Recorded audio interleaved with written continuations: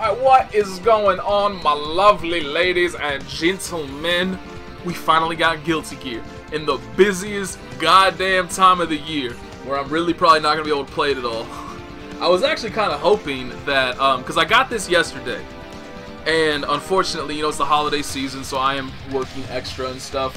Various things are going on, so obviously I don't have all the time in the world to learn a new fighting game. But I was hoping I would actually be able to go to uh, NorCal Dogfight this weekend, and just kind of, you know, have a base knowledge to be able to build off of, you know, like be decent enough that it wouldn't just be a complete waste of time because I actually, you know, I had some game knowledge and stuff. Looks like that's not going to happen. I got to spend about 15 minutes with this game yesterday. I am, the amount, I really shouldn't even be here right now to begin with, and I'll explain why in a second. Um, but so I just I don't have the time really necessary right now to learn the game, so it might be a little bit before y'all are seeing uh, me hopping online and playing it, especially because I am picking a like I could pick a character like maybe Ky, Sol, somebody like that who I would probably be able to learn significantly faster than I'll learn Chipp because Chipp has a lot of like because one of his most important things is learning the spacing on this bad boy right there. So you can actually get both hits, combo off of it. He has a very nasty uh, vortex on Wake Up that you can do with this move. And so, like, you can just barely make him, you know, jump over. I don't know any of the knowledge of it. I've just seen it happen. But he has a very nasty vortex utilizing this move, and it's very difficult to block. So, you know, learning all that stuff is obviously going to be uh, necessary to run an optimal Chipp. And it's a lot of stuff that I just don't have the time to learn.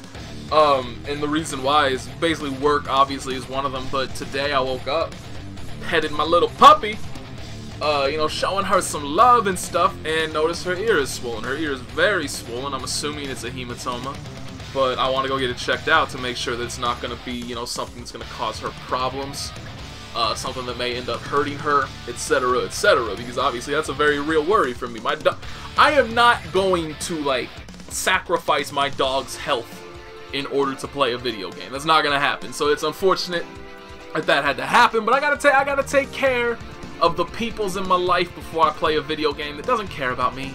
They don't care about me. Plus, I've heard apparently the um the netcode for this game is pretty fucked up right now. Like, it's not necessarily the netcode itself is fucked up, like it's got bad netcode, but that it's reporting false connection speeds. So you'll see somebody and be like, oh hey, look at that, that's a 3-bar connection. But the game is lying to you. Really, it's a negative 2 connection, but the game just doesn't know how to properly uh, process that and show it to you, and so it lists it as a 3-bar connection. You're thinking you're going to get something good, and then you end up getting backhanded by the internet. And so I guess it's kind of a good thing, you know, maybe they'll fix that before I actually get uh, to a level of comfort, comfort with this game that I actually feel like I can play it and play other people and not just be flailing around like a goddamn madman.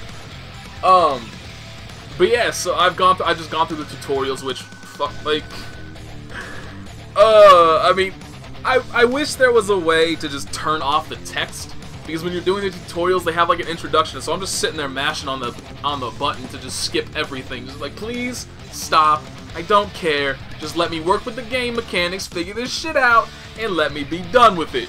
But right now, the biggest thing is remembering what everything is. Like, I'm trying, I'm kind of, I've just been doing that right now, because previously I had it on this layout, which obviously, it helps you, because now you know which button to press, but it also doesn't help you, because nobody is going to be talking to you, or being on, um, like, Dustloop or something, telling you, okay, you do stand in circle, and then you do 236 triangle, 236 triangle, then you press square, X and triangle at the same time. Nobody does that. Nobody does notation like that. Everybody uses the game-specific notation, which as you can see right here, PKSH dust. I don't know why it doesn't list dust there. I guess dust is just not important to the world. But so I've just switched it to this, and now I'm getting used to it. This is P, this is K, this is, uh, this is, this is, this is S. That's HS, and then that's dust. So that that's the stuff that I need to, I'm trying to, uh, just get used to the notation, get used to how stuff is read, and so I can actually start pressing the appropriate buttons and not have to like stare at my stick like, okay, this one's P. Like I'm an old person typing with one finger. This is S. This is K. Like, because that's obviously not gonna help you learn shit. Um, So I'm working on it. I'm getting there, but there's a lot of stuff to learn. This is a brand. This isn't Street Fighter. This isn't Marvel. This isn't BlazBlue Persona. This is all new to me. All of it is new. The mechanics, the combo ability, uh, everything to do with this game is new. You know, I mean, obviously there's some similarities between fighting games. Regardless of what game you play, there's going to be some similarities there. But just in terms of like character movement, overall game speed, just everything is new. And so I got you know take it one step at a time. And once I once I actually have the time available to me to start taking those steps, I will. But unfortunately, I just don't have that right now. Um, but anyway, I mean, I may as well just kind of do some stuff, man. Like, dude, this dude is so fast. Like, damn, son. Like, look at that. Look at this dude's air dash. How much fucking ground he covers.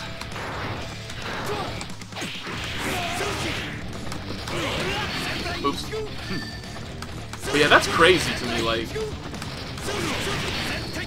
Oops. Oh, actually, that's his overhead, and then you can combo off that, too. Hmm. Can't he do two of these? Hmm. I think it has to do something with doing his like his wall climb, which I, is awkward as hell. I can't I can't really do it consistently. How do you do? Oops. That wasn't it. Dude, I'm telling you, man. I'm just gonna end up mashing that shit. Can that actually hit? Doesn't look like I can hit on. Negative Oh, okay, it can. But that is definitely an air-to-air -air combo tool. Oh, that's not jump cancelable? How the hell is that move not jump cancel?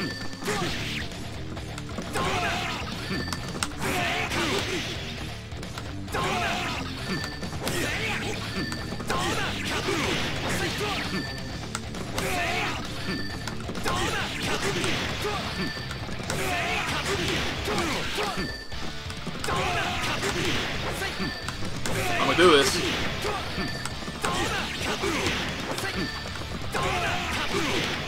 I'm not gonna do this. Whatever.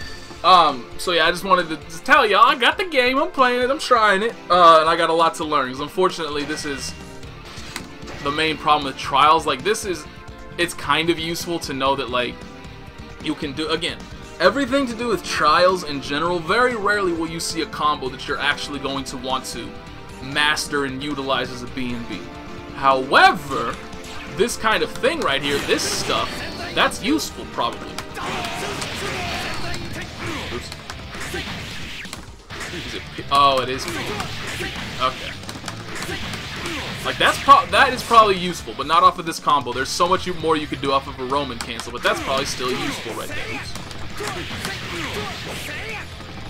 See, I need to. I keep. I don't know why I keep pressing. I keep pressing this when I try to press when I try to do sweep, and I don't know why, but I need to stop doing that. And then same thing with actually, where is it? I think, no, it's not. Yeah, this one that I haven't done yet because of the because of the mashing P thing. It was weird to me. The start of this combo, like that right there, up until the point where you're mashing on P six times, that actually seems like a very solid combo route. And I'm sure there's something significantly better that you can do uh, instead of just mashing on P six times. And so, you know, when you go through trials, that's pretty much what almost all of the trials do. It shows you something useful, but then, like that right there, that there's no way that's an optimal combo. He, he will have so many more things he can do for damage and stuff off of that. Off of a counter hit, whatever the fuck that button is, HS. But almost everything has something useful in it, a useful element to it. And that's what you have to be looking for when you're doing these trials. Like, okay, what actually looks like? That's what I was trying to do, the Alpha Blade wall version. How do you do, how do you... I swear I've seen... Hmm. Oh, he doesn't have anything right there? Oh, yeah. That's another, that's actually one of the things that make him dirtier. Like, oh, hey, here's an over... Oops, no, that wasn't supposed to be Here's an overhead for you. Are you gonna block that? No, I'm invisible. That's one of the things that definitely makes him dirtiest. See. Maybe you have to do it into Alpha Plus, maybe? Hang on.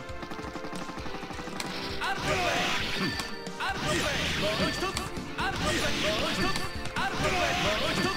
I really, I don't understand that move. I don't understand how just combo it. Hmm. I don't know, whatever. See? All things that I need to figure figure out. I don't know anything. Hmm.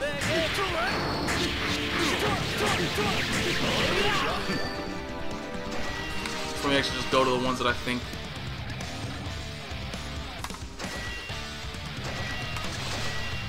hmm. Are dusts overhead? Dusts are overhead, right? Oh, do you? Oh, maybe that's what you're supposed to do. You're supposed to... Oops.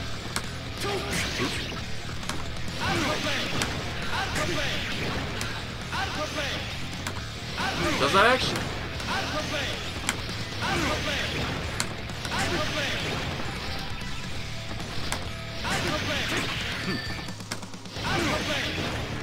Oops.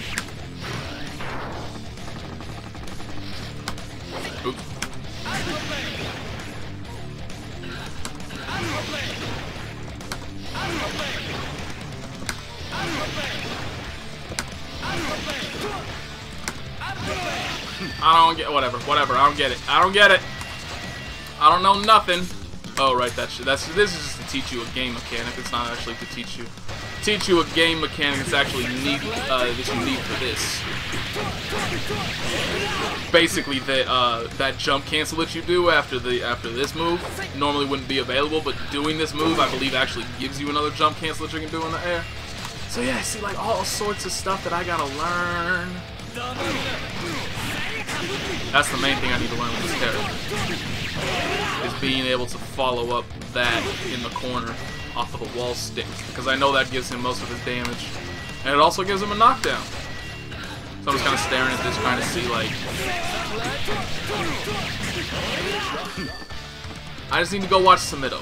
I, I mean, plain and simple, I just need to go watch... There's like, there's basically three various ways that you can learn combos. The first and hardest of them is learning them yourself, which very rarely will somebody manage to, like, come up with a completely optimal combo on their own. You have to be extremely knowledgeable of the game mechanics in general to be able to find, um, you know, that kind of stuff on your own. Damn, that's a big combo.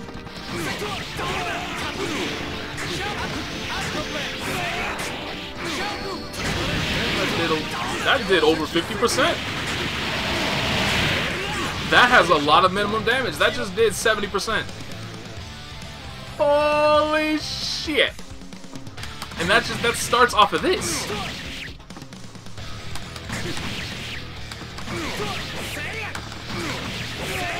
Hmm.